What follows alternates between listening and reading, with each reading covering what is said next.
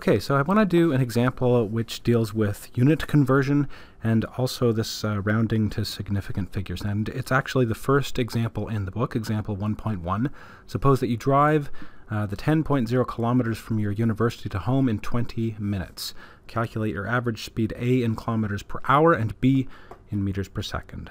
Okay, so just quick diagram, U for university, H for home, uh, we might as well call the distance delta x, since we'll do that in chapter 2, is 10.0 kilometers, and the time is uh, 20.0 minutes.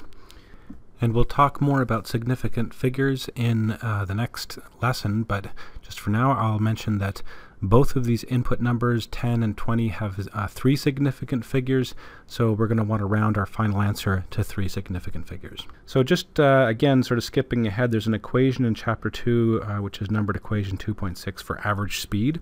Quite simply, average speed is uh, delta x over t. The little line on top of the v there is uh, means average. And so uh, just calculating 10 divided by 20, you get 0.5 kilometers per minute. So part A is a unit conversion to kilometers per hour, and we'll use the fact that one hour equals 60 minutes. So I'll write your uh, V average there equals 0.5 kilometers per minute. And now I'm opening a bracket and I want to write a conversion factor equal to 1 in which has minutes on the top and hours on the bottom. So 60 minutes is one hour, uh, and that will make the minutes cancel and you'll have hours in the bottom. So 0.5 times 60 equals 30 kilometers per hour. And then we can write it uh, 30.0 there to get it to three significant figures. Part B is another unit conversion to meters per second.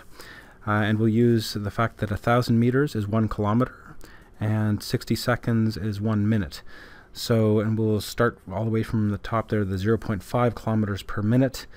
Uh, I'm going to multiply now by two conversion factors. Uh, the first one is uh, I want the minutes to cancel and have seconds on the bottom, and the second one I want uh, kilometers to can cancel. So put meters on the top, kilometers on the bottom. So uh, it's one minute is 60 seconds, and a thousand meters is one kilometer.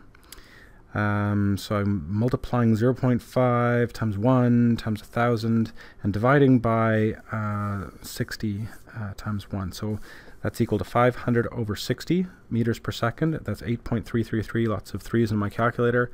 Meters per second, round to three significant digits, is 8.33 meters per second.